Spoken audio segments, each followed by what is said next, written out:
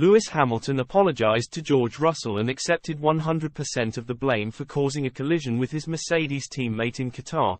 Michael Schumacher's brother, Ralf Schumacher, believes Mercedes team boss Toto Wolff will have to intervene now after Lewis Hamilton drove into the side of George Russell on the opening lap of the Qatar Grand Prix. Hamilton came off worst of the two as the seven-time world champion crashed out of the race, but Russell's Grand Prix was also jeopardized as he fell down the order. It wrecked Mercedes' hopes of having at least one car on the podium with both starting second and third on the grid.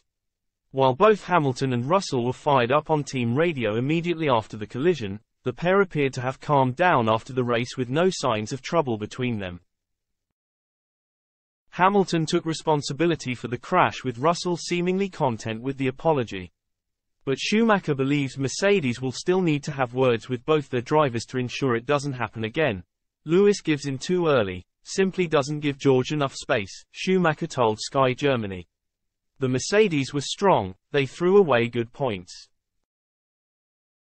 There's a bit of work to be done between the two now. You can deal with each other either way, the team has to intervene now and they will.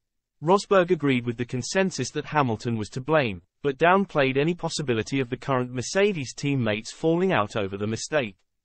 There's not that much to discuss. It's relatively one-sided, he said. Lewis tried it on the outside because he had the soft tires.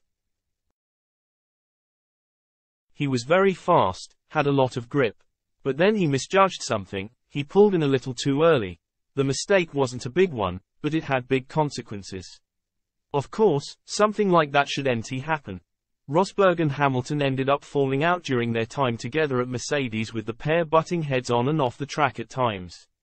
Mercedes team principal Wolff will not want a similar situation to arise between his current drivers, though, especially if they're fighting for race wins.